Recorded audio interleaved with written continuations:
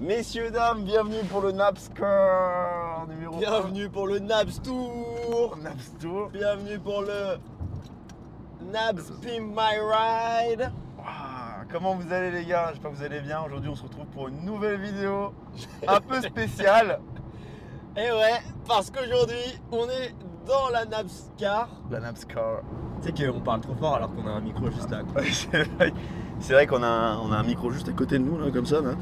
Je me suis rendu compte dans les, dans les tournages, tu sais, avec l'expérience, que j'ai tendance à parler beaucoup trop fort. Parce que si il y a le caméraman qui est à 5 mètres de moi, mais moi, étant donné que je suis une machine socialement, tu vois, Ouais. un monstre de calibration sociale, Ouais. un homme époustouflamment, Ouais. puissamment, social, Magnifique. euh, magnifique, tout ça. Du coup, je, je calibre en parlant plus fort.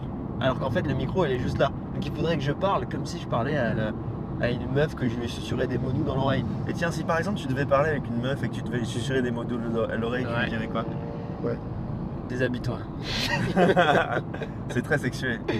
Ouais, mais au final, en fait, c'est ça qui est important, c'est que la relation qu'on veut créer avec, euh, avec notre communauté, Ouais. c'est plus une relation de susurrer des mots doux dans l'oreille, Oui. nos homo, hein, mais que, euh, que de leur crier dessus de loin, tu vois.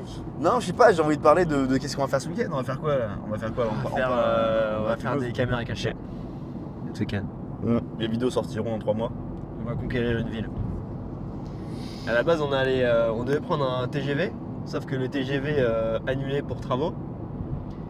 Euh, puis après, on s'est chauffé sur un Blablacar, sauf que Blablacar, euh, on n'a pas trouvé de meuf bonne avec qui pour prendre un Blablacar. Il y avait que des, des Malik et des, euh, Attention, on a rien et contre des les Malik. Hein. euh, Non, rien, rien. Euh, C'est juste que notre blueprint, en fait, si on était dans le blueprint sécurité, on aurait pris un trajet avec un Malik, tu vois, parce qu'on Ouais. sait qu'il conduit bien. ouais, ouais. Mais nous, on est plus dans le blueprint euh, amour. Ah, Ouais. j'ai loupé la sortie. Ah. Carrément loupé la sortie. Bon, c'est pas grave, je pense que au lieu d'avoir 2h13 de, 2h13 de route, on aura 3h30. Au moins, on aura plus de courses. C'est pas grave. Non, non, mais en fait, ce qui, ce qui était marrant, c'était qu'en fait, avant qu'on filme, on rigolait, on rigolait de quoi On disait, euh, en fait, la rapidité à, la- à laquelle tu peux euh, dessaper une meuf, c'est sexy. Waouh. Quoi, vas-y, on peut parler de ça. Mais en fait, plus c'est simple, plus c'est excitant.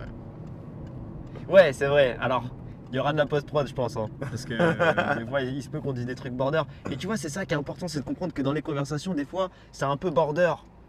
Non, mais moi, j'ai pas envie d'avoir du filtre. Parce qu'après, euh, Ouais, sans filtre. Mec, si on trouve un mec qui fait du stop, on le prend et on lui dit par contre t'es obligé d'être filmé. Et on le game pour qu'il nous suce. C'est la vidéo, Alors, le concept. Il se fait sucer en stop. T'as déjà, déjà sucé un mec? Genre, imagine tu devais sucer quelqu'un. Je dis pas qu'il faut faire. Mais imagine tu devrais sucer quelqu'un. Tu le ferais comment? Moi? Non, non. non, non. Non, non, Pardon, j'étais trop dedans Non, là. Le mec euh, comprendrait. Ouais, ouais, ouais. co- comment est-ce qu'on ferait? Comment est-ce qu'on s'y prendrait? Ah ouais, comment on ferait? Pour se faire sucer par un mec qu'on est pris en stop? Non, mais c'est pour faire monter l'échelle de compliance. Donc, l'échelle de compliance, Ouais, je, c'est. euh, je pense, je pense, je pense commencerait par lui dire euh, T'as une meuf? Et toi, Patrick, euh, t'as une meuf? Après, après, je lui dirais, c'est quoi ton style de meuf? Après, je lui dirais, Allez. je pense, euh, Mais vraiment baby step quoi. genre, euh, les transsexuels, pour ou contre? Et, et là, il ferait pourquoi tu me demandes ça? Bah, pour savoir. Parce qu'en ce moment, il y en a beaucoup. Il y en a de plus en plus en 2024. Non, en fait, imagine que la femme de tes rêves, elle est une tub. Tu vas ou pas? Alors là, euh, c'est quoi une meuf bonne là, Non, tu vas ou pas? Bah non, mais. Non, non, t'as pas compris. La meuf de tes rêves, Mais je suis en train Elle- d'essayer de la elle visualiser. a une tub, elle a une tub. Oh, Euh, mec, il y avait un gang de pigeons, frère. Laurence euh, j'allais dire ça. Ok, pour toi, c'est quoi la meuf la plus bonne? La meuf la plus La bonne plus- Tu vois, genre la meuf, quand t'en parles, t'es obligé de dire bonne de, Ah. de, de, de beau fifier, tu vois. Mais en fait, toi, j'ai jamais réfléchi à cette question. Je sais qu'il y a beaucoup de mecs. euh, Est-ce qu'il y en a une? Attends, je réfléchis. Fantasme à mort. Mais putain, genre jamais, jamais, jamais. Je, j'ai jamais. euh, je regarde pas de porno, donc je sais pas quelles sont les meufs bonnes. Peut-être si tu me montres des meufs bonnes sur Insta, euh, ah, je dirais oui direct. Euh, une meuf, une meuf, je me dis bonne euh, La meuf qui a joué dans. Dans Labyrinthe là. Non, non, pas Labyrinthe, pas Labyrinthe. Euh, The Hunger Games. Oh mec, je la déteste cette meuf. Ah ouais? Je la déteste. Elle est très gauchiste. hein. Ah, elle, elle- elle m'insupporte, je sais pas pourquoi. Son visage Sa tête, son. tout. Ah non, tout. Ces personnages sont chiants. Je la trouve inutile. Elle fait du. Tu vois, genre juste elle tire une flèche, elle va faire du bruit, tu vois, ça m'énerve. Genre. Ah. Ah, j'ai mal. Ah, ni. Ah, j'aime pas les personnages comme ça. Ah. Est-ce que ça éveille pas des traumas en moi et que j'ai pas envie d'être comme ça et que du coup je, je rejette à mort cette identité-là? Toi, c'est quoi la meuf la plus bonne que tu voudrais? Ah, moi ça serait une, une Miss Olympia, un délire comme ça, tu vois. Ah Un truc, euh, un truc bien bodybuildé, euh, Bien sec, bien sèche. bien sec, Une meuf énorme et sèche. bien musclé. Ah ouais. Ok. Tu te sens comment toi Mais je suis jamais allé. Enfin, je suis allé deux fois à Toulouse. Euh. Transition bizarre. tu sens comment je suis allé deux fois à Toulouse. Ok. Euh, une fois, c'était pour aller faire un, un chantier international. En gros, c'est un chantier Erasmus, euh, c'est-à-dire qu'il y a des Portugais, il y a des mecs euh, qui viennent de l'Europe entière pour reconstruire la France. D'ailleurs, je vous recommande de faire ça si, si vous avez rien à faire. Mais c'était quoi ton job? Mon job, c'est que je devais monter un mur en pierre sèche. Un mur en pierre sèche, c'est ce que c'est? Tu devais monter un mur. Ouais. Et avec toute l'équipe, tu vois, on apprenait la technique du mur en pierre sèche. Ah, explique-moi, c'est quoi un mur en pierre sèche? Bah, en gros, il y a, il y a- il y a pierre, il y a sèche dans le mur pierre sèche. Donc il y a des pierres et c'est sec. Donc ça veut dire que c'est des murs montés sans colle. Et là, tu me demandais c'est quoi de la colle? Bah, c'est tout ce qui Si, permet. je- je sais c'est quoi de la colle? Non mais comment tu fais? Bah, en fait, c'est du Tetris. C'est tu dois prendre chaque caillou et les emboîter les uns entre les autres. Et le poids du caillou va faire en sorte que euh, bah, il va se répandre partout et donc ça va tenir. Et si t'enlèves quelques cailloux, ça tombe? Quelques cailloux, non, mais si t'en- si t'en- si t'enlèves les, euh, ceux qui tiennent le reste, oui. Mais en vrai, euh, c'est très compliqué de reti- retirer un caillou, vrai. Parce que chaque caillou va, va répandre le poids, en fait. Va- Mais c'est pas, c'est pas efficace de faire ça, c'est vrai Bah, il y a des maisons qui ont plus de 1000 ans euh, en Dordogne, dans le Lot, qui sont en pierre sèche. Qui sont Non mais je veux dire, c'est long à faire Ah, c'est long, oui. plutôt que de poser des briques. Ah oui, bien sûr que c'est long, mais c'est esthétique. D'accord. Et c'était vraiment passionnant. Il y avait, il y avait un prof, euh, c'est une association, c'était l'association. euh, Donc vous étiez plein à poser des cailloux. On était plein à poser des cailloux. Et on était 10, et il y avait des Portugais, il y avait des Français, il y avait pas. C'était quoi le but de l'association? Bah, recon- des murs. Reconstruire euh, du patrimoine français. Parce qu'en fait, le mur était cassé. Ah ok. Et du coup, euh, c'était le village de Fessel. Et on a reconstruit, euh, on a reconstruit un mur, c'était vraiment. Et comment t'en es arrivé là? Que- que- Genre, euh, comment t'en es arrivé à, à pa- partir de ta chambre et aller euh, faire un mur en vaisselle Bah, c'est une bonne question. En fait, euh, très bonne question. En septembre, je devais commencer euh, la banque. Et du coup, c'était le premier été de ma vie où je travaillais pas. Parce que tous les étés, j'ai toujours travaillé avec mon papa euh, pour faire de l'argent ou euh, j'avais des jobs saisonniers. Et là, c'est le seul été de ma vie où je m'étais dit, je vais pas travailler. euh, parce que je sais que je vais être en alternance, donc je vais gagner de l'argent. Donc, pendant ces vacances, je voyageais un peu partout. Et là, j'avais euh, 10 jours devant moi, je savais pas quoi faire. Donc, j'ai tapé. j'avais un pote qui était chef de chantier. Il m'expliquait, il faut que tu, vraiment que tu fasses ça parce que c'est vraiment une belle expérience. Et moi, ça me faisait peur de vivre avec des. Bah, Avec des pauvres Non, non, non, mais tu sais, Avec, genre, avec des étrangers non, vraiment même pas. C'était pas ça. C'était de vivre avec, euh, vivre dans des tentes, euh, avec des gens qui sont. Attention, c'est des gros clichés que j'avais, mais pas forcément sales, mais qui, qui- qui aiment bien euh, faire du jumbé, tu vois. Ah d'accord. Tu vois, qui sont très bio, Genre se très- balader sur des cordes en Sarwell et boire des Exactement. 8-6. Exact. Ok. Non, pas de 8-6, non, pas forcément. Mais euh, des gens très très ouverts d'esprit, très. euh, Et donc du coup j'avais des préjugés. Et je voulais voir de moi-même, avant de juger, bah se dire je vais vivre avec eux, je vais voir, je vais voir ce qui va se passer. Et aussi j'aime beaucoup la France, donc euh, rénover quelque chose, être utile en fait, parce que je servais à rien là sur cet été là. Ouais. Donc euh, donc il y avait ça, il y avait le fait de découvrir euh, une partie de la France, le fait de la rénover, et le fait de rencontrer plein de gens euh, qui sont dans le même délire, qui sont délire. Et donc du coup pendant 10 jours, j'étais euh, dans le Lot, dans, en un village euh, paumé. C'était vraiment magnifique. On se levait super tôt le matin. Kiffe tellement l'histoire qui baille. Mais ouais, on, on se levait et on allait faire, on montait un mur en pierre sèche. Et euh, l'autre partie de l'équipe, il, faisait des meubles en bois. Mais genre à la main, tu vois. Et c'était trop, trop, trop intéressant. Et j'ai couché avec deux meufs. Ah ouais? Ouais. Sarwell? Ah, c'était pas en Sawal. Non. Toi, t'aimes pas le. Sur ta main. On voit pas ta tête. Toi, t'aimes pas les tentes. Bah, pas tant. T'aimes pas le camping. Bah, j'ai toujours fait du camping en fait. Euh, Enfin, j'ai toujours vécu dans mon mobilhome. Mais maintenant, de moins en attends, moins. attends, attends, attends. Contextualise. J'ai toujours vécu en mobilhome. On dirait que t'es Eminem dans 8 Miles. Je. non, t'as vécu dans une maison toute ta vie. Oui, je oui, oui. C'est vrai, merci de, de- de proposer la contextualisation. Non, non. euh, avec mes parents, on partait tout le temps euh, dans les Pyrénées en vacances. Ok. On, par- on partait dans les, dans les Pyrénées et on avait un mobilhome. Mais c'est vrai que j'ai jamais vraiment vécu en tente, ouais. Vécu n'importe On quoi. n'a pas eu la même enfance.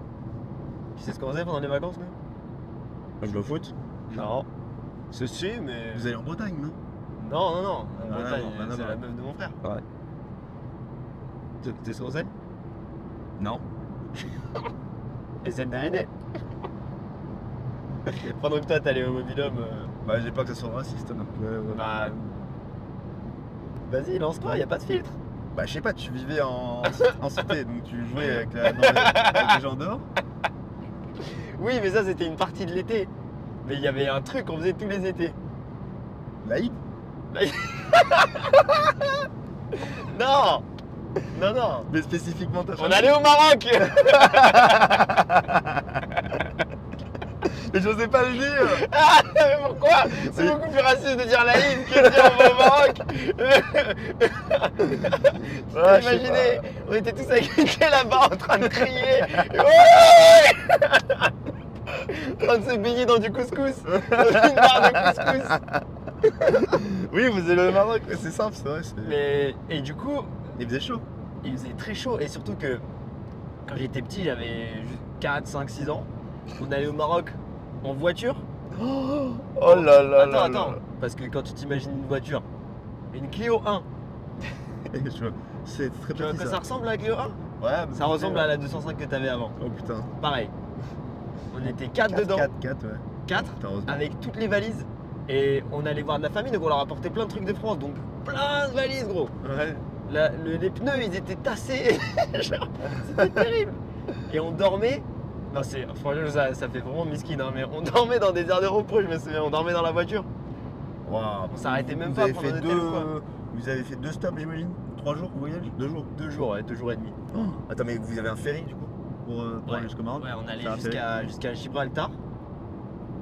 Ok, Euh, ouais. le détroit du Gibraltar, on l'Espagne, à ça Tanger. Ouais, c'est le bout de l'Espagne. Ouais. Putain, oh là là là. Ensuite, on, a- on arrivait à Tanger et après, on partait. Euh, quoi. Mais je comprends pas, c'était vraiment la coutume aussi de mes darons, c'est de prendre la bagnole pour aller en vacances. J'ai jamais compris ce délire.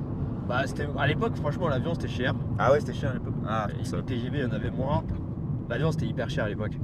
Ah, c'est pour ça. Et en plus, moi j'ai de la famille un peu, un peu dispersée au Maroc, donc du coup, euh, pour aller voir tout le monde, on était obligé de. De prendre une bagnole, c'est plus facile. Ouais.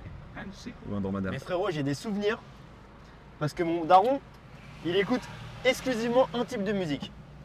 Attends, attends, je sais. Musique classique. Classique arabe. donc c'est pas classique comme tu connais, tu vois. C'est classique arabe. C'est quoi du classique hein Alors je vais essayer de l'imiter.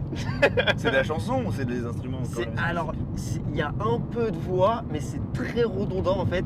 Et surtout, c'était toujours une qualité horrible. C'était tout le temps des cassettes, euh, tu sais, les cassettes que tu dois rembobiner, tu vois. Et ça faisait un truc du genre.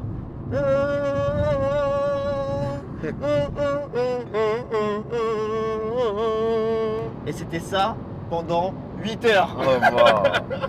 On mettra Ça un me extrait donnait la migraine, frérot C'était terrible Et des fois, il y avait des passages stylés avec des petits... Tu vois, il y avait des instruments à cordes et tout. Franchement, la, la mélodie était cool, mais juste le... Tu vois, ce... Genre, ça rentre dans ta tête, Tu gros disais pas à ton daron, euh, ouais, tu peux arrêter ça Non? Genre, euh, je- non. De toute façon, il dirait non. Il- Mais non, mais il dirait non. Bah, il est là, il conduit, frère. euh, je peux lui dire arrête. euh. Arrête ta musique, c'est insupportable. Si, bah, je lui disais de baisser un petit peu des Mais fois, du je zaz, mais du J'étais zaz, petit, c'est quoi. bien. Et puis surtout que j'avais pas de. À l'époque, j'ai- j'avais 6 ans, tu vois, j'avais pas de goût musicaux. Je vais pas lui dire vas-y, mais mets du La Fouine. Ouais. Parce que quand j'étais petit, on écoutait La Fouine. Ouais, ouais, Vinci, c'est sûr. Vinci. Et, euh, et du coup, ouais, mes souvenirs, c'est ça. C'était à l'arrière avec mon frère. Grosse valise euh, entre mon frère et moi. On avait, une, on avait une Game Boy chacun quand même. On avait une Game Boy. Ouais. On jouait à la Game Boy. Et on parlait. Et on entendait cette, euh, cette musique. Et le soir, en vrai, c'était marrant de dormir dans la voiture. Genre, moi, je, vois- quand j'étais petit, je voyais ça comme un truc drôle, ça me dérangeait pas. Et vous jouez à quoi? Le, la Game Boy, Ouais. Pokémon. Et on avait aussi Double Dragon. On a, on a jamais réussi à le finir. Parce qu'en fait, tu peux pas faire de sauvegarde, il faut le finir d'une traite. Et une fois, on est arrivé à la fin, fin, fin, fin, le boss final. On avait plus de piles. C'est quoi Double Dragon? Double Dragon, c'était un, un beat'em all. Un beat'em up, beat'em all. Tu sais, c'est les trucs où Beat'em all, je avances Et tu dois. Oups. On avait Tetris aussi. Mais euh, ouais, ouais, en vrai, c'était c'était cool. Et je me souviens quand on arrivait au Maroc, par contre, quand on, quand on descendait de la voiture, gros, et qu'on voyait notre famille. En plus, là-bas, notre famille, elle, trop cool, ils nous accueillaient trop bien. Vous deviez être très heureux. Ah, mec, on était tellement contents juste de plus être en voiture, tu vois. Ah ouais, c'est- vraiment un plaisir de sortir. Et au Maroc, les maisons, elles sont grandes. Genre vraiment grandes. Quand t'es petit, c'est encore plus grand. Mais toutes les maisons là-bas sont giga grandes. C'est la maison familiale. Ouais, ben. monde vit dans sa- avec sa famille. Oui, oui, ouais, ok, dis comme ça. Ouais, il n'y a pas de.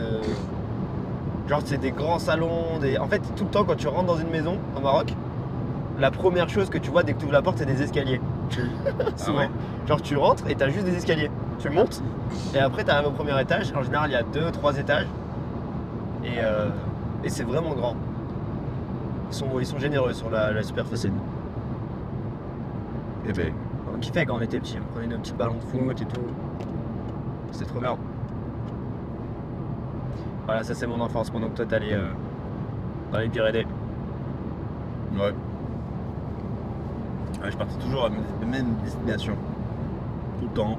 Pyrénées. Haute Pyrénées, puis on allait faire les mêmes randonnées tout le temps. Mais vous étiez, du coup, c'était pas très sociable quoi, c'était juste votre famille? C'est juste moi, mon père, ma mère. Mais c'était pas un camping avec d'autres gens? Si, si, mais c'était un petit camping. Ok. C'était pas un camping. euh, allez, camping paradis et tout le monde danse. Il y avait Gérard à la techno, à la. à il y avait, avait d'autres enfants? quelques enfants, très, très rarement. T'avais des potes? Non, pas tant. Il y avait toujours un enfant ou deux. Et du coup, je devenais, je devenais pote avec lui, on jouait au ping-pong. Il y avait juste une table de ping-pong. Il y avait un, petit, un mini torrent. C'était vraiment le micro-camping, c'était juste pour se reposer. Quoi. Moi, c'est un truc que j'aurais plus kiffé faire quand j'étais petit. euh, les campings euh, stylés avec des souvenirs de camping, tu vois, genre. Ouais. C'est le seul truc que je regrette euh, de mes parents, c'est de nous avoir emmenés que dans ce genre de camping. Genre les, tellement- les bails de Club Med et tout avec des enfants Ouais, partout. j'aurais tellement kiffé et je pense que j'aurais, j'aurais été moins timide quoi. J'aurais, et je serais forcé à parler avec des gonzesses euh, parce que là il y avait juste euh, un mec, des fois une meuf, et c'était la fille du, du chef du camping. Ouais, la première fois que je suis parti en camping, c'était avec Lorik. Il Ah mais c'est un euh, camping de potes, c'est différent. Ouais. C'est un camping familial, donc c'est drôle. Non, mais c'est un, c'était un camping familial, mais avec des potes. C'est sa mère, Ouais. elle, avait, elle avait acheté un mobilhome. Euh, et euh, je vais pas dire la localisation, on s'en branle, mais elle avait acheté un mobilhome dans un camping stylé, c'était à côté d'un lac. Il y avait beaucoup de monde et nous on avait 15-16 ans, tu vois. Ouais. Et c'était la liberté absolue. On allait là-bas, on allait acheter de l'alcool. bon, euh, il y avait, d'autres jeunes, tu vois, avec qui on jouait. On jouait, on faisait des trucs euh, de, de préadolescents, tu vois, qui, qui découvrent la vie. Et là, je me suis dit, putain, c'était cool. Ouais, il y avait des meufs. Et alors comment avec J'ai ça pas chopé du tout. Putain, je crois qu'il y a, il y a une vidéo de moi. Si j'arrive à la retrouver et qu'on fait quelque chose de cette vidéo, je vous la balance. La première fois de ma vie que j'ai bu de l'alcool. Et tu vois, je suis complètement pété. Dans le camping? Dans le camping, ouais. Putain mec, moi aussi j'ai bu dans le camping avec un pote. C'était vers 16-17 ans. Ah putain. Et ouais, il y avait des meufs, je me souviens. J'avais tenté un truc avec une meuf. Enfin, tenter un truc, c'était un bien grand mot. J'étais un giga de jaune. Mais juste. euh, Voilà, je traînais un peu avec elle et tout. Un soir, euh, je me suis mis à côté d'elle et puis. euh, À côté des feux de camp. Non, même pas. On était, on était par terre sur la terrasse du mobilhome. Et puis, c'était quoi tenter un truc pour moi? Ouais, je crois que j'ai essayé de lui faire un câlin, un truc comme ça.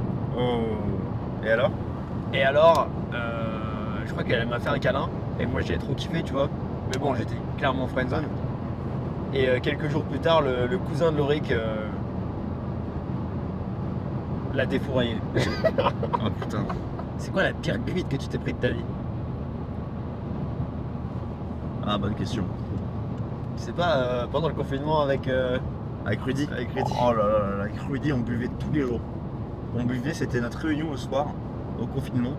J'allais lui apprendre l'anglais et on buvait euh, genre euh, une bouteille de Jäger. Genre.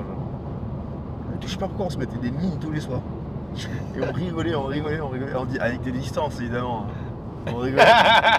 Distance de. Ça finissait toujours pareil tout le temps, tous les soirs, on buvait, je sais pas pourquoi. roulait des pelles Ça se trouve, il te bourrait la gueule jusqu'à ce que t'étais inconscient. Non, non, euh, non, non, on parlait anglais, je lui apprenais l'anglais. Et après, euh, le- tous les soirs c'était pareil, je disais Ah, salut, à demain.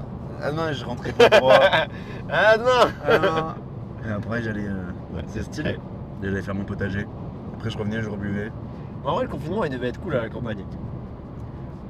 C'était, c'était- bah, alors, moi, j'ai pas vécu à la ville, donc euh, je pense que c'est, c'est moins agréable en ville.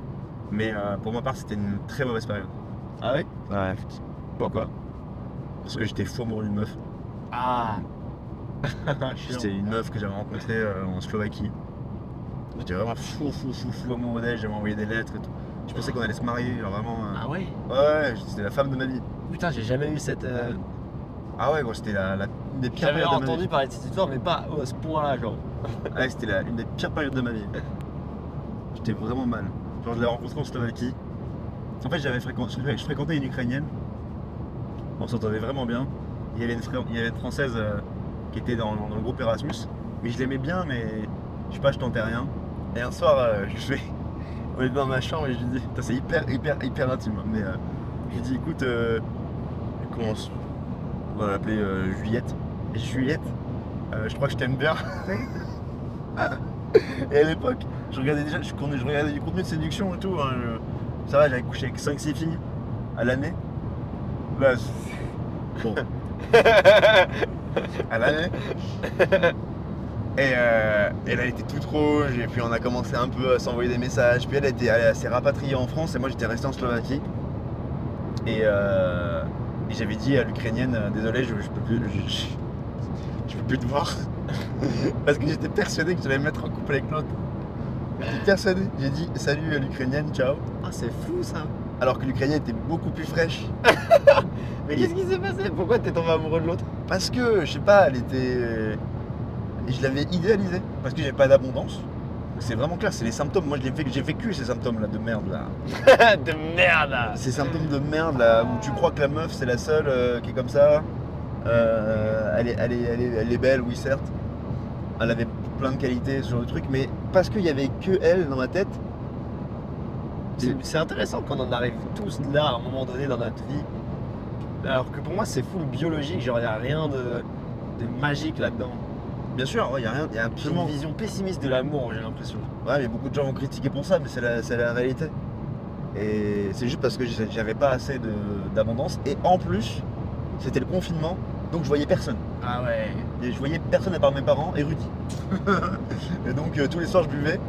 Et lui il me parlait de sa meuf aussi. euh. Et, et j'avais envoyé une lettre d'amour. J'ai fait ça les gars, j'ai envoyé une lettre d'amour à la meuf en lui disant est-ce que, euh, je sais pas, un truc de merde, un truc de chaude. Où j'avais dit je t'aime bien, tout, est-ce que c'est réciproque? Elle m'a rép- Covid les gars. Covid? Covid. Le Covid. C'est-il Covid? Il n'y avait pas la poste. hein, c'était- c'était- Vous vous souvenez en 2019 hein? Il n'y avait pas. C'était, tout était lent. J'ai attendu un mois plus tard pour avoir la réponse. Ah ouais Et euh, je lui réponds- j'ai envoyé des messages tous les 3 jours, 4 jours. Genre des saluts, ça va et tout. Elle me répondait à moitié. Et un mois plus tard, j'ai reçu sa, sa lettre qui me disait euh, Ouais, lettre, pour moi, c'est, pas réciproque. Oh et je pense qu'il. Mais pourquoi elle t'a pas envoyé un SMS Je sais pas, elle voulait me répondre euh, en mode lettre. Parce que c'est romantique, tu vois. Et euh, ouais, pour moi, c'est Oh pas mais réciproque. ça a dû te foudroyer le cœur. Ah ouais, attends, attends, attends, gros. Elle me dit c'est pas réciproque et elle me dit quoi dans la lettre? Je tiendrai toujours. Elle me dit il faut pas s'attacher au passé. Il faut pas c'est pas bien d'être nostalgique. Parce qu'en fait, je disais c'était bien les moments qu'on vivait ensemble, tout ça, nanana. Et euh, je, me suis, je me suis senti vraiment, vraiment, vraiment mal. Genre au bout du rouleau, j'avais mal et tout, j'étais malade. euh, c'était une sale période. Et c'est pour ça que les gens euh, qui me disent ouais c'est un natural, machin, il a toujours, il a toujours été beau gosse, il a toujours des résultats avec les meufs. Mais les gars, moi je rigole, je rigole quand vous me dites ça parce que j'ai vraiment, été- j'ai vraiment été un très très très bas. Très bas parce que, et même parce que ok, je séduisais des meufs, quelques meufs, les 5-6 meufs en Slovaquie, euh, ok, mais c'est pas la, pas la fête à m'aimer quoi. Mais, euh, mais genre j'ai vraiment été mal. Et je ne veux pas faire ma victime, mais c'est le genre de situation que les hommes peuvent vivre. Et il y en a beaucoup qui vivent ça, et peut-être que toi qui écoutes ça, peut-être que ça t'arrive aussi. Et la solution à ça, c'était d'avoir l'abondance et donc de rencontrer des meufs et de game, quoi, tout simplement. Donc ensuite, euh, pendant les, les mois de l'été, genre je faisais rien. Et après, euh, non, en août, j'avais pris la décision, parce que je lui parlais un peu encore, et j'ai pris la décision. D'ailleurs, j'avais fait une vidéo YouTube à l'époque sur ça pour expliquer. Ah ouais? Ouais, j'avais fait une vidéo sur ma chaîne. ouais. J'ai supprimé parce qu'elle était, elle était euh, Cringe. cringe, ouais, elle était cringe. Et, euh, et j'ai expliqué, et pour moi, j'avais vraiment raison.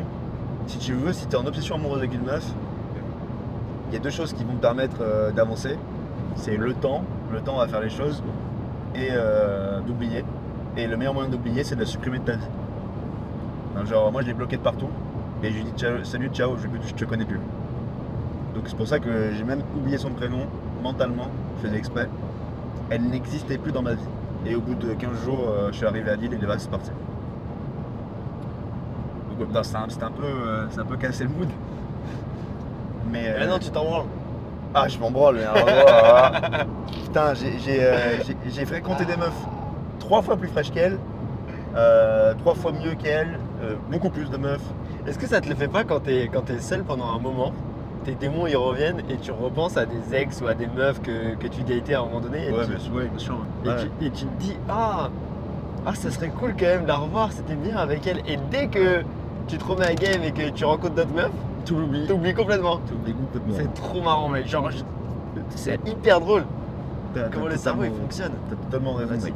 Ah, Ah, c'est bien avec elle. tu sais c'est juste, c'est juste de la fainéantise rationalisée genre parce que Ouais. t'as la flemme de sortir. Ouais. Ouais, c'est ça. C'est ça. Ouais. T'as déjà eu un. On a déjà parlé des millions de fois, mais peut-être que tu as appris quelque chose que t'as pas dit. euh, un gros chagrin d'amour. Un gros chagrin, Pff, pas tant. En vrai. Ou bien peut-être que. Tu dois être un fuckboy, toi. Ah écoute mec. Non si j'en ai eu un et j'en ai déjà beaucoup parlé mais euh, Ouais. c'était c'était tellement absurde gros que je sais pas. Je vois même pas ça comme une histoire stylée à raconter tu vois. Ouais. Dans ma tête c'est juste un truc stupide avec des circonstances stupides. Avec le Covid et tout qui a pas du tout aidé et des leçons qu'il fallait que j'apprenne et euh, ça s'arrête là hein. C'est ton ex? Ouais, on- n'est jamais vraiment sortis ensemble, mais. euh, mais Ah en bon tout cas, euh, T'étais pas avec une meuf pendant un deux ans non 6 mois 6 mois, 7 mois C'est quoi la plus longue relation que t'as eue 6 mois, 7 mois Non, en vrai, 8 mois, tu, tu la connais en plus. Enfin, je l'ai datée, mais. euh, Ah oui, mais pour moi, vraiment- c'est- pour moi, c'était pas une meuf. Non, non, Avec c'était pas, c'était- c'était pas une meuf. Mais Genre, par contre, putain. ouais, c'était, c'était exclusif pendant 6 mois avec euh, celle dont je parle tout le temps là. Euh, D'accord. Mais pas vraiment officiel quoi. C'était, débile, c'était juste full immature. Et euh, Covid et tout n'a pas aidé. C'était une période compliquée le Covid. hein. Mais vous viviez ensemble, je crois. On a passé un mois ensemble, ouais. Putain, waouh. Un mois non-stop euh, ensemble. T'as déjà beaucoup plus d'expérience que moi en couple. Ah ouais, pourtant j'en ai pas beaucoup. Hein. Ouais. C'est marrant parce que des fois, les meufs, elles posent la question. En date, elles disent Et toi, euh, c'était quoi ta dernière relation? Et tu dis Bah, tu. Genre quoi? Genre quel genre de C'est-à-dire, bah, genre, euh, il est en couple quoi. Je dis, ah ouais, ouais. J'ai eu une meuf à 15 ans. C'était 3 mois. Ça a duré 3 mois, elle m'a trompé quoi. Mon premier gros, premier gros chagrin d'amour. Mais, mais les gars, en fait, vous vous rendez pas compte à quel point j'étais une merde. Horrible. Putain, première meuf que j'ai, elle me trompe. Elle a 15 ans, frère. Après, je préfère quand même avoir ça que ne pas du tout avoir une meuf. Ouais, c'est vrai, c'est vrai que je me plains. Il y en a qui n'ont pas de meuf. Euh, j'attends. euh, euh, j'attends. euh, j'attends, j'attends quoi Ah oui, il y avait des Erasmus avant. Attends, non, j'ai fait mon pèlerinage avant l'Erasmus. En fait, le truc, c'est que quand t'as pas de meuf, bah du coup, t'es triste parce que t'as pas de meuf. Et quand t'as une meuf, t'es triste parce que t'as peur de la perdre et que si tu la perds, tu seras triste. En fait, c'est que des, anticipations négatives. Et T'as du peur coup, de la en fait, faut avoir peur de rien. Genre, euh, juste. euh, faut être à l'aise avec euh, pas avoir de meuf, à l'aise si t'as une meuf et en avoir juste. T'as rien à foutre. Être juste bien. Il faut vivre le moment présent quoi. Le battage de couilles complet. Ouais, des fois, c'est ce que je dis dans mes dates. Genre, ça peut me, me casser, mais, mais j'aime bien cette frame, j'aime bien ce qu'il y a là. Et je dis, moi, si du jour au lendemain tu veux plus me voir, ou euh, moi je veux plus te voir, bah c'est pas grave, parce que j'ai pas envie de créer d'attache. J'ai envie de créer d'attache avec personne, avec qui que ce soit. Rien du tout. Parce que j'ai pas envie. Si je crée de l'attache, je serais triste. Et euh, et je pense que ça, ça m'aide beaucoup de faire ça. Parce qu'au moins, j'ai pas peur. J'ai pas peur, je me dis, j'ac- j'accepte en fait, j'accepte tout. Il faut faire attention avec ça parce que des fois ça peut être une excuse justement pour pas s'engager. Et en fait ça peut être une forme de faiblesse. De se dire euh, moi je veux, je veux pas m'attacher parce que, euh, parce que je risque d'être triste. C'est que du coup en fait t'as peur de perdre la tâche. Mais euh, en fait c'est- ouais, faut différencier la tâche et l'engagement. Genre tu peux quand même t'engager dans quelque chose en étant à l'aise. Genre tu vois tu peux t'engager dans une relation en te disant bah si cette relation elle se termine, je serais triste, mais genre je suis ok avec ça, je m'en bats les couilles, c'est pas grave, je pourrais, je vais quand même sourire. Euh, c'est plus courageux plutôt que de se dire ouais non euh, flemme euh, parce que du coup je vais je vais souffrir, c'est ce que je veux dire? Et t'insinues que c'est pas courageux? Hmm, J'insinue rien du tout. je t'en partage juste euh, une réflexion. Ah ok. Ah non, c'est une question, peut-être que t'as raison, peut-être que c'est pas courageux. Non, je pense qu'il y a, y une, y y a frontière à. Enfin, je pense que c'est plus complexe que juste dire euh, je veux pas m'attacher à quelqu'un parce qu'il faut, il faut comprendre d'où est-ce que cette action elle vient, tu vois. Et est-ce que est-ce que c'est vraiment sain ou pas? Parce que moi je sais que il y a, il y a plein de trucs dans ma vie où genre euh, je fakais le fait que j'étais indifférent parce qu'en fait j'en avais trop quelque chose à foutre et que j'avais peur. Et du coup plutôt que de me confronter à ces problèmes là, parce qu'au final, si tu t'en bats vraiment les couilles et que tu kiffes une meuf et que tu décides de, de te mettre dans une relation avec elle, ben t'es aussi censé t'en battre les couilles si la relation elle s'arrête et que t'es triste. Mais si t'as peur du coup d'être triste à ce moment-là, ça veut dire que tu fuis quelque chose. Donc en fait, il faudrait que peu importe l'émotion que tu vives, au fond, tu te sentes quand même bien. C'est-à-dire que, que je sois triste, que je me sépare de quelqu'un, que je sois seul, que peu importe ce qui se passe, je me sens bien et je m'en fous. Ça veut dire que j'aimerais bien que la relation elle marche. Si elle marche pas, c'est pas grave. Si je me sépare d'elle à un moment donné, genre euh, c'est pas grave non plus, tu vois. Et faut, faut tout le temps identifier bah, où est-ce qu'on a peur parce que c'est le blind spot qu'on a et notre ego il va tout le temps rationaliser et se dire ouais mais je veux pas m'attacher à ça. Donc, euh, donc je le fais pas. On va se sentir fort alors qu'en fait c'est de la faiblesse. Ok. Mais je parle pas de ton cas précis. J'en sais rien, tu vois. Bah en fait, euh, mais t'as, t'as- t'as raison, tu vois. T'as raison, mais. Ouais, juste que c'est plus complexe que ça. Je pense que. Oui, mais oui, bien sûr, bien sûr. Je pense, je pense que le, le truc que je voulais dire, c'était que je veux pas créer d'attache Ouais. tout court. Enfin. Enfin, c'est pas. C'est que je suis ok avec le fait que ça s'arrête, c'est ça que je veux dire. Ouais. Mais en fait, c'est juste le truc de ne pas créer d'attache. Tu penses pas qu'en voulant ne pas créer d'attache, Je, pense que le truc que tu, ce que tu veux dire, c'est de se forcer à pas en créer. Ça bah, si tu veux pas créer d'attache, t'es la pute du fait de pas créer d'attache. Du coup, tu vas agir en, en réaction à cette pensée. Et t'es pas vraiment libre. Ouais, c'est vrai. Et en fait, on a tous des insécurités. Et, euh, et, et ces insécurités, en fait, on agit en réaction à ça et on est un peu la pute de nos insécurités. Donc le, travail du développement personnel, c'est d'aller chercher où elles sont ces insécurités. Et plutôt que d'être en réaction par rapport à ça, être en réponse. Et trouver des... euh, des euh, bah, trouver quels sont les démons auxquels il faut se confronter, quels sont les dragons qu'il faut qu'on aille tuer. Quoi. Ouais, je me pose la question, est-ce que j'ai vraiment euh, peur de m'attacher J'ai dit ça j'ai dû, dû dire ça. T'avais peur de t'attacher Ouais. Non, franchement, j'en sais rien. Et... mais Je sais, en fait, c'est trop, c'est trop compliqué de répondre à cette question. Genre, euh, même moi, je sais pas, tu vois. Je sais pas si au final, le fait que je me mette pas en couple avec une fille, c'est parce que j'ai peur de quelque chose. C'est c'est possible.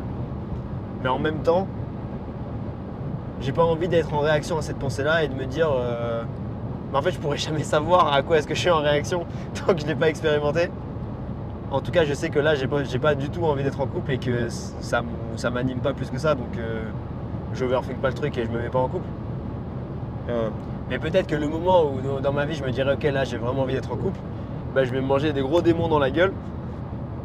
Très fort probable, des grosses insécurités euh, euh, que j'ai que j'ai surcompensé avec, euh, avec l'abondance que je peux avoir avec les femmes.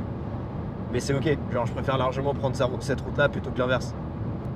Parce que le problème aussi quand tu es dans une relation avec quelqu'un, c'est que du coup tu as tendance à, oublier tes insécurités parce que la personne elle te donne tellement d'amour, elle te valide tellement que tu oublies en fait que si tu vas en boîte de nuit tout seul, tu vas te chier dessus et que tu auras de, l'anxiété d'approche parce que tu le vis plus. Donc du coup tu es dans une illusion en te disant que bah, c'est bon, tu as la validation des femmes, tu as la validation de tout le monde, tu le genre t'es t'es ok. Et puis dès que tu te sépares de cette meuf là, bah, tu retournes à la case départ et t'es en mode ah merde. Donc je préfère largement me sentir bien seul et avoir tous les skills qui me permettent d'avoir une meuf et ensuite avoir une meuf plutôt que l'inverse. Parce qu'après euh, le, chemin inverse il, est terrible. Mais du coup, ils peuvent pas savoir. Comme tu l'as dit, les gens qui sont en couple, ils ils ont pas la paye. Les mecs qui sont en couple. Euh, ouais ouais, Ben, en fait c'est trop intéressant parce que du coup les, les discussions que j'ai avec les mecs qui sont en couple, ça se voit qu'ils sont totalement inconscients de leurs compétences sociales. Et parce qu'ils sont juste aveuglés par cette illusion, vu qu'ils ont une meuf, ils se disent c'est bon, j'ai une meuf, tu vois, c'est chill. Et dès qu'ils ont plus de meuf, bah là c'est tu les ramasses à la petite cuillère. Parce qu'ils se rendent compte que bah c'est pas chill du tout. Et il y a plein de trucs où ils ont pas pris leurs responsabilités. Et pour moi, être- ne pas être capable d'aller engager la conversation avec une inconnue, c'est un gros problème qu'il faut résoudre dans ta vie parce que si tu n'arrives pas à faire ça, bah, tu seras jamais vraiment libre. Et tu vas te mettre dans des relations, tu vas être, en fait tu vas être la pute de tes insécurités, c'est-à-dire que tu as peur d'aller engager la conversation avec une inconnue, et du coup tu vas te mettre en couple avec une meuf basée sur cette insécurité, en réaction à cette insécurité. Et t'as pas vraiment choisi le fait de se mettre avec cette meuf-là. Et ça c'est ce que j'ai pas du tout envie de vivre.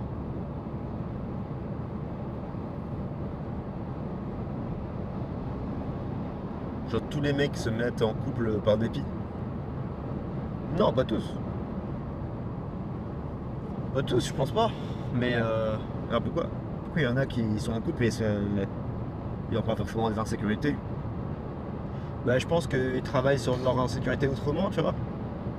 Et euh, de toute façon, jusqu'à la fin de nos jours, on aura toujours des insécurités. Tout le monde en a. Genre, si t'es super riche, bah, t'as une insécurité peut-être au fait de genre euh, Justin Bieber. Il doit être insécure sur le fait qu'il a toujours besoin de plus de stimulation pour se sentir bien, tu vois. Ouais. Et il doit limite être un peu jaloux de, de, de- de deux connards comme nous qui sont en train de filmer une vidéo dans, dans une voiture. et qui sont heureux comme ça parce qu'on a encore plein de trucs à vivre, tu vois. Ouais. Et euh, nous, on a des insécurités du fait de pas être Justin Bieber et de pas pouvoir à la fin du concert choisir la meuf qu'on veut et la ramener en loge. En fait, euh, on a tous des insécurités quoi. Tous Il faut juste l'accepter et s'en battre les couilles. Parce que tant que tu l'as pas fait, tu peux pas. euh, T'es pas libre. Attends, comment tu fais pour être libre euh, avec tes insécurités? Bah, tu les acceptes et tu t'en fous, tu, tu vis avec. Et, euh, et tu travailles dessus si t'es inspiré à l'idée de travailler dessus.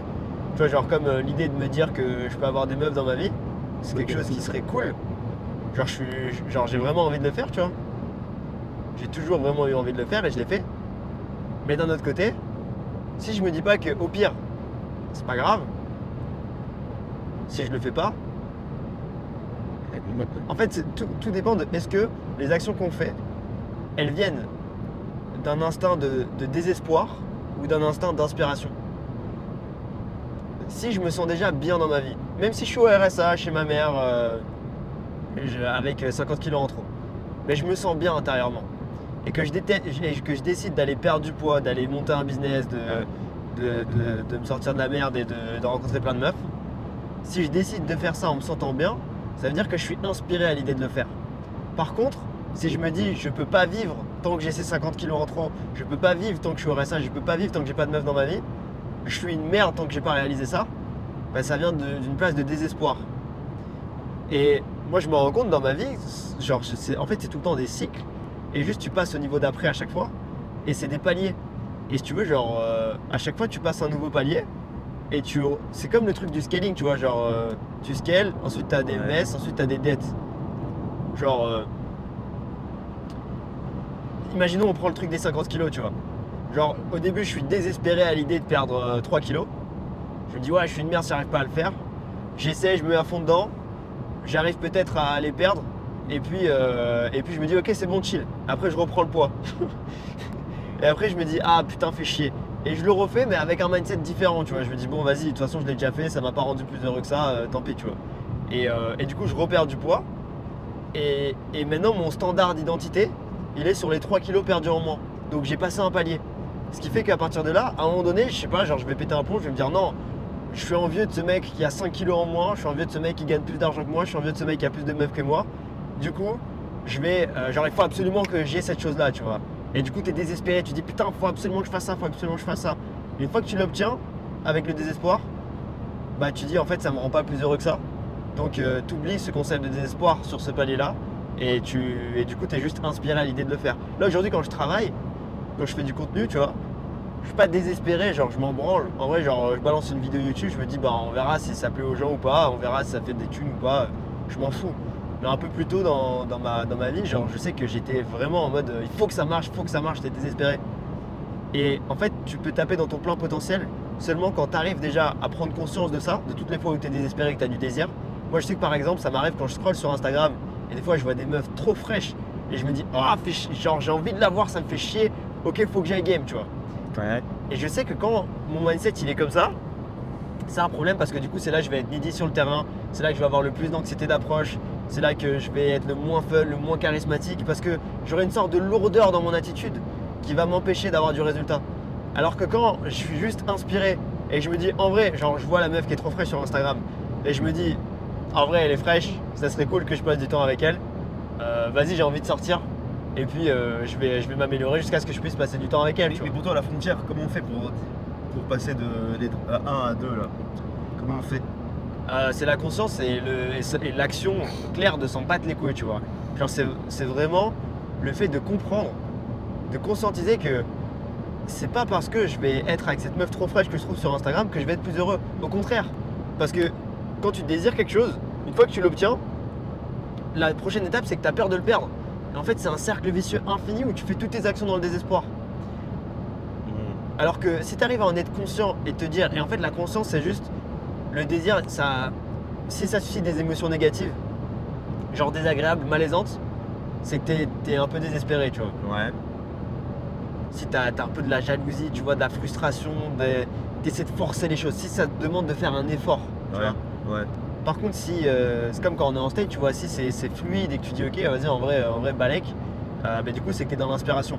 Et tu peux pas, genre, en fait, on est humain donc il y a tout le temps des moments où on va être désespéré, des moments où on va être inspiré. L'idée, c'est juste de travailler sur soi pour balancer plus du côté inspiré que du côté dés- désespéré. Mais tu pourras jamais être, full inspiration. Et quand tu regardes les mecs qui accomplissent des grandes choses, c'est justement des mecs qui ont, capté ce paradigme-là et qui l'ont développé à un très haut niveau. Genre les mecs qui vont, euh, genre les Elon Musk, euh, les Jeff Bezos ou, même les humoristes trop, forts, tu vois, genre Kevin Hart, même Gad Elmaleh, des trucs comme ça, Squeezie, genre il, il a vécu ce cycle-là plein de fois. Je suis désespéré, j'ai envie d'avoir un million d'abonnés, tac, il arrive à l'avoir et il est, il est déprimé parce qu'il se rend compte que ça lui apporte rien de plus dans sa vie. Ouais. Il dit bon bah du coup maintenant que j'ai compris que ça m'apporte rien, je vais juste être inspiré à l'idée de le faire. Jusqu'à la prochaine étape à chaque fois, tu vois. Ça veut dire quoi être inspiré à l'idée de le faire? Ça veut dire que tu te sens déjà bien. T'as pas besoin de le faire pour te sentir bien.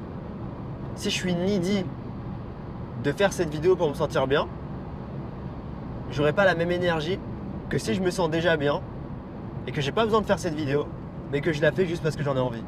Ouais, Et c'est ça me fait plaisir. C'est juste pour comprendre parce qu'il y a un paradoxe du coup. Parce que moi, quand, quand j'avais pas de meuf, je me sentais pas bien. Mais du coup, euh, je peux pas me sentir bien intérieurement sans meuf. Ouais. Donc euh, je, je suis dans le désespoir en fait. Si, si je travaille pour avoir des meufs. Genre là, là ce que tu dis c'est d'être heureux sans, sans ça. En fait, je pense que c'est une phase dans laquelle tu es obligé de passer. Tu dois passer par cette phase-là, mais tu peux pas rester dedans. Parce que si tu restes dedans, tu vas être coincé à un certain panier et tu peux pas tu peux pas être heureux en fait. Et le, et le but de cette réflexion, c'est juste, c'est même pas comment obtenir les choses. Parce que certes, ça va t'aider à obtenir les choses plus facilement, en faisant moins d'efforts, mais surtout, ça va t'aider à être plus heureux. Parce qu'une fois que tu réalises que, genre, quand j'avais pas de meuf, le fait d'obtenir des meufs, ça m'a apporté tout un tas de nouveaux problèmes, tu vois.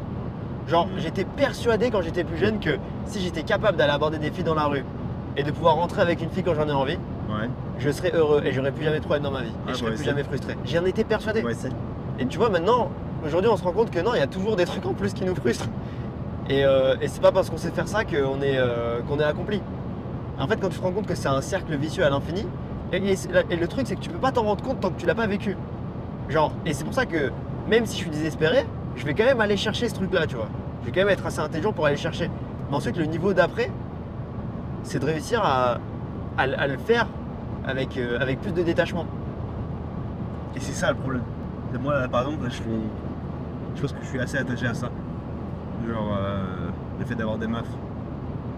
Et j'arrive pas à m'en détacher, paradoxalement.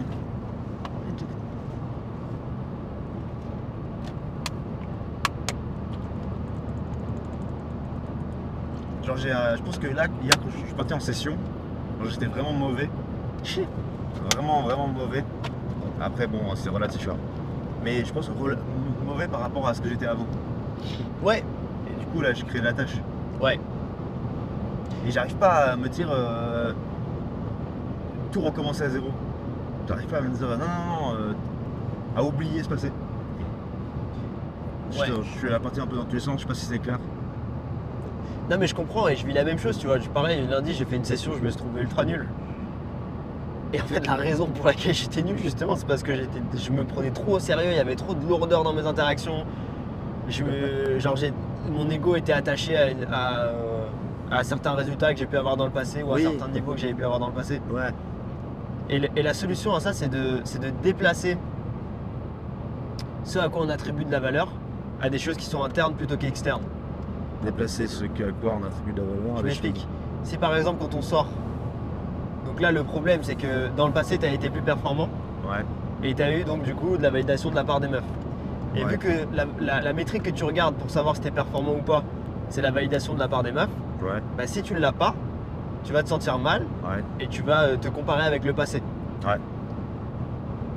Ce qu'il faudrait faire à la place, c'est de d'arriver à, à se juger sur des métriques qui sont contrôlables et internes. Comme par exemple euh, la créativité dont tu peux faire preuve, la créativité dont tu peux faire preuve, le nombre d'interactions que tu fais.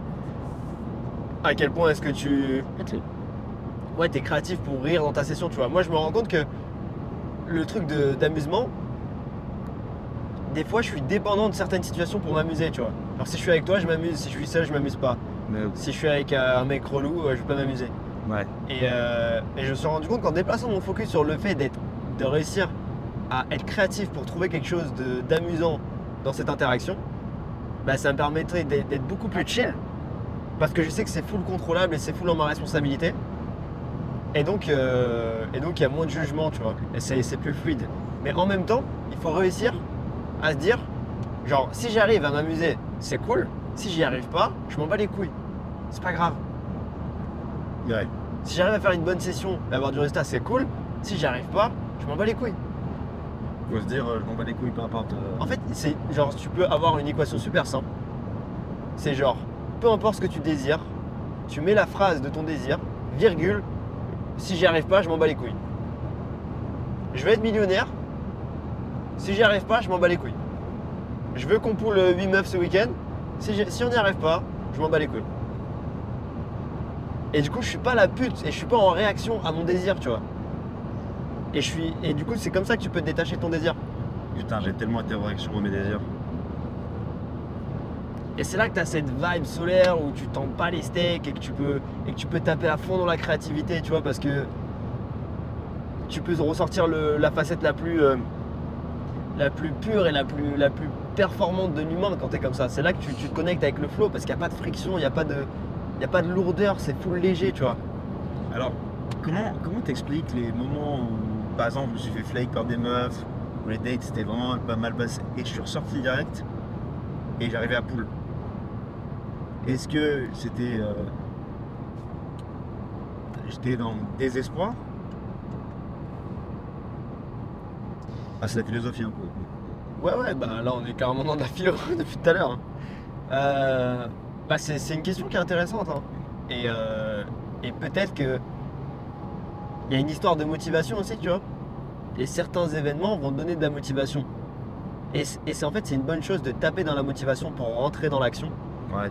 Mais une fois que tu es dans l'action, si tu te déta- détaches pas de ça, tu peux pas rentrer dans le flow. Par exemple, j'ai 50 kilos à perdre, je vais à la plage, j'enlève mon t-shirt, mes potes ils se foutent de ma gueule. J'ai beaucoup d'émotions négatives, ça me fait chier. Ouais. Je me dis ok, il faut vraiment que je fasse quelque chose. Donc du coup, je, rentre dans la phase où je passe à l'action. Donc je sors de l'apathie par rapport à mon problème et, et ça reste réactif, tu vois. Je reste en réaction à ces émotions-là. Et du coup, ça me fait passer à l'action. Et je peux consciemment me dire, et je pense que c'est ça le plus important, c'est c'est toujours genre la conscience. Je peux consciemment me dire, je vais utiliser cette émotion comme un outil, cette motivation, cette frustration comme un outil, mais je vais pas être la pute de cette émotion. Je vais pas être en réaction indéfiniment. Je vais l'utiliser tant qu'elle m'aide, puis ensuite je vais la, lais- je vais la laisser partir. C'est comme si tu avais besoin peut-être d'un. Tu vois, comme une fusée qui, qui monte dans l'espace, et tu vois, tu as plein de réacteurs, et à un moment donné, tu laisses tomber le truc pour avoir plus de. pour que ce soit plus léger et pour aller plus vite, tu vois. Oui. Comment ça s'appelle les... C'est des sondes, des, euh, Non, c'est des. euh, des compartiments, quoi, tu vois. propulseurs. Ouais, voilà, c'est exactement ça. Ben, c'est parfait, c'est exactement l'analogie parfaite. Genre, je pense que la, la frustration, tu peux l'utiliser comme un propulseur. Ouais. Et ensuite, une fois que tu as atteint le, le seuil, euh, le seuil qu'il te faut, il faut que tu laisses tomber pour pouvoir être plus léger. Et c'est là que tu arrives à obtenir du résultat. Donc se dire ce que je veux, c'est la phrase qui résume tout, c'est ce que je veux absolument, virgule, je m'en bats les couilles. Si je l'ai pas. Si je l'ai pas fait. Et là, t'es invincible. C'est un mantra bien stylé, ouais. Et donc euh, quand je pars en session, se focus sur les choses internes. Donc euh, à quel point j'ai été créatif, à quel point je me suis fait rire, à quel point je suis passé à l'action, 100% d'effort en fait. Ouais, C'est ce que tu disais à l'époque, 100% d'effort. ouais c'est ça. Se focus sur les, sur les standards euh, que tu t'im- que tu t'imposes à toi-même qui sont contrôlables et pas sur les attentes extérieures. Et c'est ultra dur. Au même titre qu'une méditation où il faut pas bouger, tu vois, il faut, il faut observer ses pensées. Mais il faut tout le temps en être conscient en fait et revenir sur l'essentiel. Revenir sur le fait de se dire attends, attends, attends, attends. Là, tu t'es fait rejeter, tu es en train de chialer intérieurement. Ouais. N'oublie pas que tu as envie que ça marche, mais si ça marche pas, tu t'en bats les couilles. T'as pas besoin de ça pour te sentir bien, ça va rien changer le fait que tu y arrives ou pas. Ouais, c'est vrai.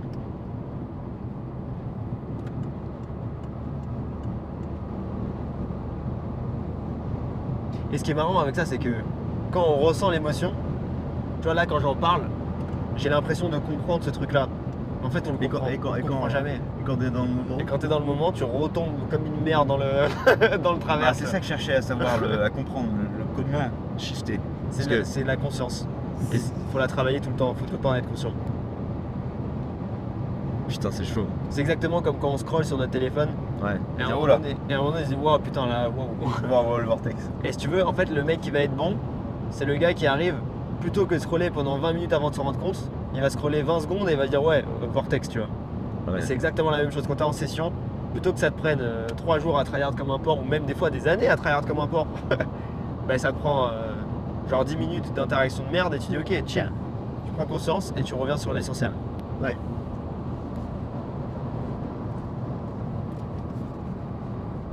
Ah, intéressant.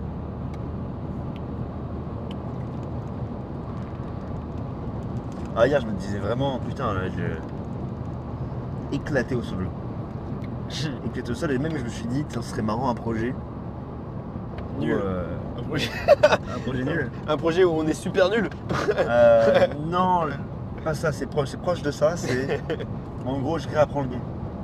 Ah ouais, J'ai pensé à ce projet. Ce serait genre, euh, on part euh, une semaine dans un pays étranger, plutôt une ville étrangère. Et genre, je reprends chaque semaine du programme du mentoring et je les applique. oh des bars Ah ouais, serait trop drôle. Genre, ok, semaine 1 open. Et boum, je fais que d'open. Et après, je fais des field reports, euh, j'analyse euh, est-ce que j'ai bien open. Et après, euh, donc du coup, jour 2, ce serait semaine 2. Ah, ça pour, serait trop pour- stylé. pour commencer. Mais genre vraiment en mode sans ego, je réapprends tout parce que je pense que celui qui va réussir, celui qui, qui est jamais au-dessus du process, Ah, et il va toujours euh, observer genre le processus de ce qui fait bien ou pas le, le processus. Et du coup hier je me disais ok il y a forcément un truc que je fais mal. Forcément un truc que je fais mal. Et là je me dis que si je reprends comme pour casser mon ego comme un débutant, bah c'est sûr que ça va marcher. Je pense que je pense que je suis sûr que ça va marcher. Parce que je reprends comme un débutant. Mais tu cherches, tu cherches, euh, tu veux dire quoi quand tu dis que ça va marcher? Bah euh, être aussi performant qu'avant. Et du Et- coup, Mais ouais. tu vois, ça, ça- c'est peut-être un problème aussi, le fait que tu te dises que tu as besoin d'être aussi performant qu'avant. Qu'est-ce qui te dit que t'es pas aussi performant qu'avant? Bah, ça ouais. euh, Tu peux pas être jugé sur une session. Ouais. Ouais, c'est vrai que je sortais pas beaucoup, donc euh, je me juge sur plusieurs sessions. Fait, quand tu regardes les chiffres, euh, genre, euh, moi, je- genre des fois, je me dis, ouais, avant j'étais quand même plus chaud et tout. Et puis je regarde juste la différence entre avant et maintenant, c'est qu'avant j'abordais beaucoup plus. Ouais, c'est sûr. Donc forcément, j'étais plus chaud. Ouais, c'est sûr, c'est sûr, c'est. J'aborde beaucoup moins, quoi. Donc, euh, ah, je shift de paradigme plutôt que de me dire qu'est-ce que je peux apprendre.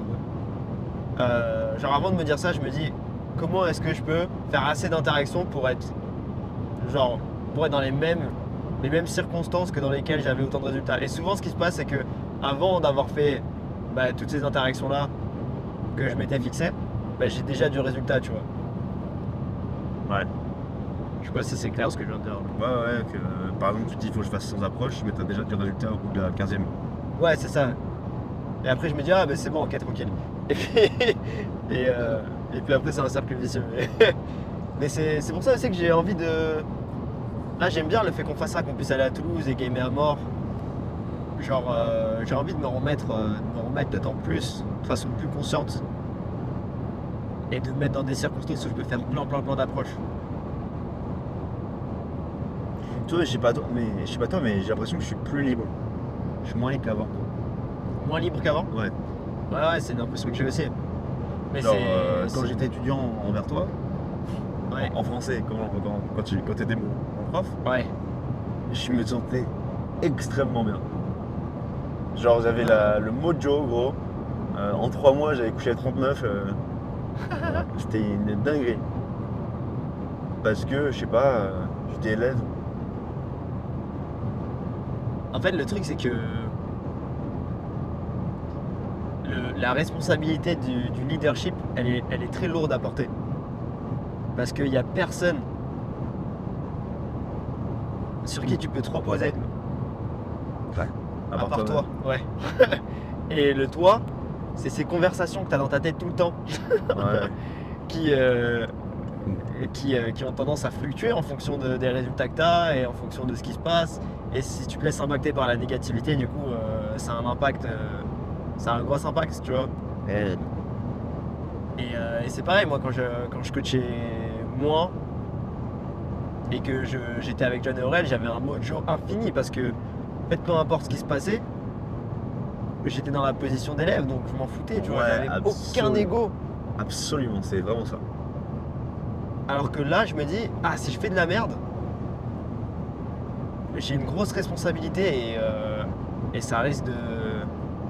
Ça peut impacter les gens qui, qui me font confiance, tu vois.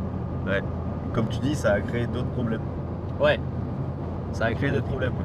Et de l'extérieur, les gens se disent, ah, mais c'est trop cool quand t'es coach, t'es tellement chaud que, que tout est facile. Non, c'est dix fois pire, gros. Ouais, c'est chaud. c'est dix fois pire la pression que t'as sur les épaules. Mais ça, personne peut s'en rendre compte tant qu'ils l'ont pas vécu. Ouais. Ouais, ouais, genre là, je suis sûr que s'il y a des gens qui regardent, ils se disent, ouais, ok, ok. mais. Mais, euh, mais je suis aussi. euh, genre, je pense aussi que c'est une question de responsabilité. Et que.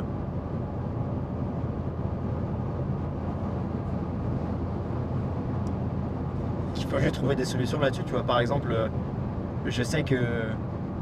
Il y a, il y a peut-être un aspect aussi du fait de me dire que je suis coach et que je suis tout le temps en train de donner des conseils où euh, j'ai de l'ego et je me dis bah c'est bon je suis coach euh, ça va j'ai besoin de moins faire d'efforts qu'avant de faire moins d'approches qu'avant Ouais. Ce qui est un peu vrai quand même, parce que j'ai quand même un niveau de compétence où bah, ça revient vite, tu vois.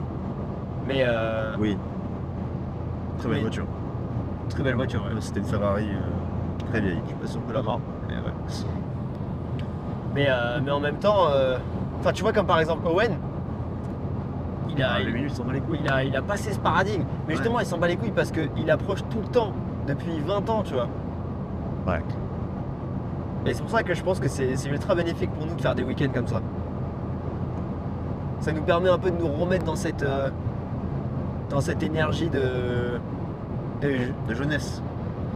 Je dirais même cette énergie genre saine de. euh, D'apprentissage. On n'a pas de. Ouais, pas voilà. coachs, on n'a pas Ouais, c'est ça, ouais. Genre juste, on est, on est juste des en potes train de game. euh, C'est exactement ça. On est juste en train de game. Ouais. Et on, on apprend nos expériences, c'est cool, tu vois. Tu sais, euh, Nabil, euh, les membres du mentoring, là, je les, je les envie. Je les envie vraiment parce que quand ils partent en immersion, j'ai vu qu'ils étaient tellement heureux. Ah, c'est abusé. hein.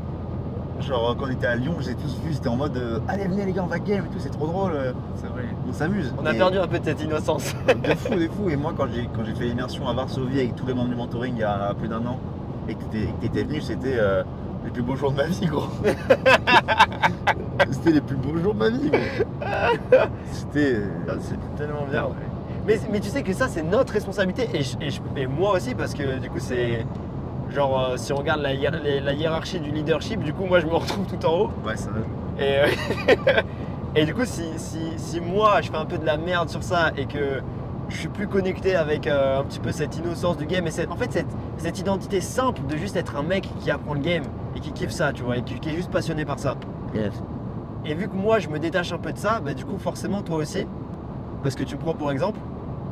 Et, euh, et, et je pense pas que c'est une fatalité, c'est genre c'est juste que j'ai été, j'ai pas été vigilant là-dessus et je me suis trop concentré sur le business et pas. euh, et je pense que c'est ça aussi qu'il essaie de nous dire Owen sur le fait de kiffer, genre de, de savoir pourquoi est-ce qu'on fait ça. Mais ouais, du coup, pour revenir à, cette, cette truc, ce truc sain là, Ouais. genre, euh, j'ai plus, de plus en plus de pensées là. Condom, regarde la ville, Condom. Il y a une ville qui s'appelle euh, Capote. Euh, à juste me barrer tout, tout seul Ouais, moi aussi. et euh, juste euh, gamer quoi. Ouais, pareil. Mais je me dis après il n'y a plus de business qui tourne quoi. Enfin, il n'y a plus de content. Mais j'aimerais bien m'autoriser. Non, mais je pense que c'est juste une question d'organisation et de. Ouais. En ce moment c'est chaud. Ouais. Parce tout- Ouais. tous les monteurs, tout ça, mais ouais j'aimerais bien en finalité juste partir en mode kiff. Et je pense que tout est possible, c'est juste sur quoi est-ce qu'on met notre focus. Si on pense que c'est pas possible, on va pas y arriver, tu vois.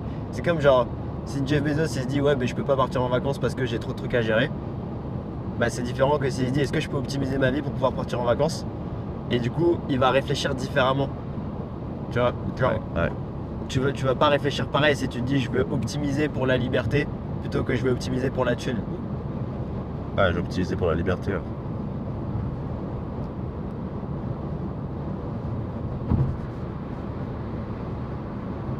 Mais, euh, mais en tout cas, la, leçon, est-ce que je suis en train de pas mal. euh, c'est sur quoi je suis en train de pas mal cogiter en ce moment C'est le fait d'avoir une identité simple. Et, et ça permet d'avoir une relation saine avec soi-même et, moins de frustration, plus de paix intérieure. Parce que si je me dis juste. euh, là, je vais. Genre, de façon impulsive, j'ai envie d'aller à Toulouse et de, et de game et de faire des caméras cachées. Et puis. Au mieux, on fera des bonnes caméras cachées, ça sera cool. Et au pire, on se sera juste tapé des bars et on aura vécu des trucs euh, marrants euh, à Toulouse, tu vois. Ouais. C'est aussi simple que ça. Plutôt que de me dire, il faut que j'aille là-bas en mission et que je revienne avec, euh, avec du sale. En plus ça met la pression et puis quand tu quand as la pression, c'est bien que c'est éclaté quoi. Ouais. Caméra cachée. Ouais, Ah, ouais, après, ouais. après c'est un peu compliqué parce que imaginons qu'il y a, tu sais, il y a le mec qui te filme, coup t'as pas envie de faire perdre du temps à celui qui filme. Ouais, mais ça, c'est. C'est. C'est c'est à moi de.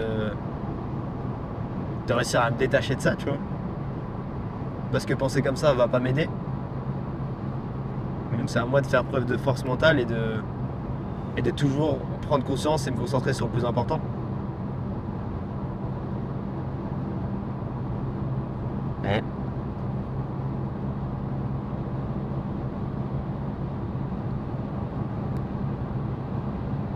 C'est pas facile. C'est pour ça aussi que plus on vieillit, plus on est ancré dans notre identité, et plus ce genre de choses, ça devient facile. Et le moyen de bypass ça, c'est de vivre beaucoup d'expériences. euh, Parce qu'en fait, c'est pas l'âge qui te rend plus ancré, c'est les expériences que tu vis. Ouais, bien sûr. Mais ça demande du courage, quoi. Un, un mec qui fait la guerre à, à 18 ans, euh, il, aura, il sera beaucoup plus ancré qu'un mec euh, qui a été comptable toute sa vie. Ouais, c'est sûr. J'ai rien contre les comptables. Mon père était comptable. Mais ouais, c'est évident. Bon, c'est le nombre d'expériences qui fait que j'étais ancré. C'est marrant, euh, je buvais un verre avec une meuf et je vais aux toilettes. Et euh, quand je pisse, c'était un bar avec beaucoup de, de- d'urinoir. Et quand je pisse, j'aime bien me taper des barres avec les mecs et je dis euh, c'est marrant pour quand même une première rencontre. je sors des blagues comme ça. Et je, je parle avec un mec je dis ah tu fais quoi dans la vie? Il me dit, il me dit ce qu'il fait dans la vie. Et il me dit et toi? Et je dis bah je suis euh, coach en séduction. Il dit ah ouais? Ah ouais et, et qu'est-ce qui fait que toi t'es coach en séduction toi? T'as un diplôme et tout et, je, lui- et je lui réponds un truc que t'avais répondu un jour. Ouais, et qu'est-ce qui fait que toi tu peux décider que je suis coach en sélection ou pas Il me dit ah bah non non mais euh... Trop stylé. non c'est vrai. Pourquoi je, je parle de ça? Je sais plus. Ah, c'est vrai que les gens, ça les, ça les choque un peu. Ouais. Bon, c'est intéressant. Bah, du coup, là, on va. On peut en parler. On va voir, on va voir Robin. On va Robin, ouais. Robin qui va passer sur YouTube là. On va lui faire des cam cash. Ça va être marrant. Mais ouais, c'est vrai ce que tu disais. Moi, j'étais méga heureux quand. Quand j'étais fauché et que je faisais que game. Ah putain. Ah, je kiffais trop la liberté que j'avais de, de sortir et de juste game que de rentrer, euh, dormir et repartir game. C'était ça quoi. C'était. Tu te lèves, tu vas game, Tu vis des aventures tout le temps, tu vois, genre c'est. t'écris t'écris tes success stories. Tu sais, il y a l'aspect addictif de tu sais pas ce qui va se passer. Ouais. Comme au casino, chaque, chaque interaction est, c'est quelque chose de nouveau, tu sais pas ce qui va se passer. Ouais, je suis tellement d'accord. beau dans le game. Moi, quand je partais les week-ends euh, à Paris pour les games et je dormais chez des gens qui m'avaient reconnu sur YouTube. Putain, mais c'était quel, quel plaisir, je dormais. euh, Tu dis tout est possible. Ah ouais, ouais. Tout est possible. Je me souviens quand j'avais Istanbul, euh, une meuf, une, meuf- une blonde, une fraîche hein, qui avait 3-4 ans de plus que moi dans l'appart, euh, de mecs qui nous regardent sur moi. Ils étaient choqués. Ils étaient choqués, mais je me sentais tellement bien à cette époque. Avril, euh, t'avais- t'avais repris Révélation, c'était trop bien. un peu. Je pensais qu'à ça, qu'à. Genre, je travaillais, je prenais des cours. Un peu comme Clément et Michael. Clément et Michael, ils sont Ouais. dans cette période. Ouais, c'est marrant. Eux, ils travaillent, je crois. Ils sont étudiants. En master. En alternance. Ah, Moi, à Londres, j'étais tellement heureux. Bon, ça va pas. euh, À un moment donné, j'avais plus du tout d'argent, mais il y a une phase pendant genre un mois et demi, deux mois, je faisais rien d'autre que game. Alors, je sortais de chez moi, j'allais game, je rentrais chez moi pour dormir et je repartais game. Wow.